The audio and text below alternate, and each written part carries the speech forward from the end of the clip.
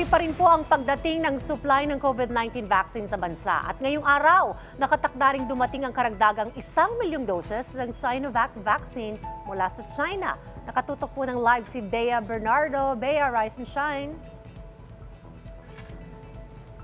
ang karagdagang isang milyong doses ng Sinovac vaccine dito sa NAIA Terminal 3. Saktong 7.35 ng umaga, dumating ang mga bakuna. Sakay ito ng Cebu Pacific Flight 5J723. Tumalubong sa mga bakuna si NTF Advisor Dr. Teddy Nervosa. Sa kabuuan, sumalo na sa 17, oh, 17 million doses ng Sinovac vaccine ang dumating sa Pilipinas.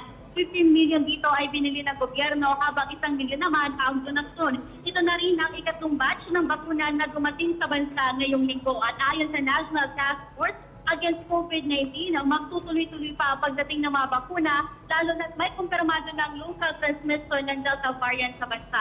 Nakikipag-negotiate na rin ang pamahalaan upang makabili pa ng karagdagang 10 million doses ng Sinovac at 6 million doses naman ng Johnson Johnson. Dayan, Magandang balita yan. Tuloy-tuloy ang pagdating ng ating mga bakuna. Maraming salamat sa iyo, Bea Bernardo.